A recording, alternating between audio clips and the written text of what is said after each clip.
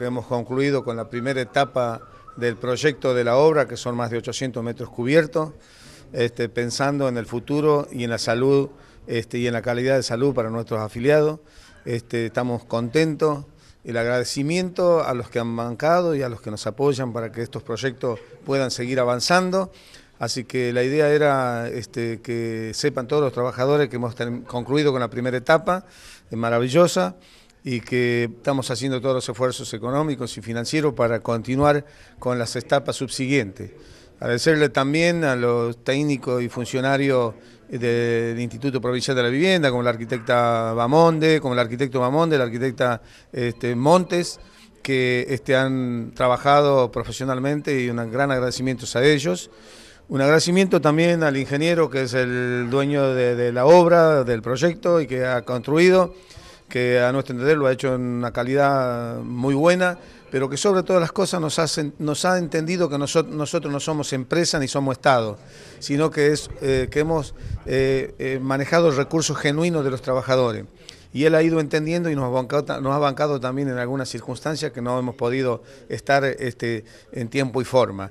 Este, así que ese es el agradecimiento a todos los trabajadores y a los que han bancado este proyecto. Bueno, esta primera etapa eh, incluyó este, todas las vigas de fundación, las zapatas de fundación, eh, vigas de encadenado, columnas, vigas aéreas y losas de los cuatro pisos que abarcan los 850 metros cubiertos.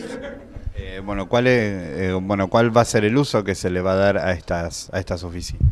Bueno, en la en la planta baja y van a funcionar 10 eh, consultorios y servicios de recepción, servicios generales, sanitarios, este, sala de espera.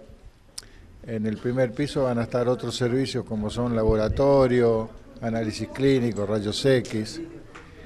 Y en el tercer piso va a funcionar el tema de, de un salón de gimnasia con aparatos, biblioteca, usos múltiples. Y en el cuarto piso todavía no está definido lo que vamos a hacer. Con las necesidades que vayan surgiendo vamos a ir implementando servicios que tengan que ver con la necesidad de nuestros compañeros y claramente seguramente también con la necesidad de la gente de la, de la zona, porque si, si esto es un centro de salud el día de mañana, seguro que los vecinos van a poder acudir a, a este, a este centro de salud que es el objetivo, eh, entendiendo que tenemos problemas en la salud. Eh, fundamentalmente la idea principal eh, ha sido siempre brindarle calidad de servicio para nuestros afiliados y a través de calidad del servicio pueda mejorar su calidad de vida.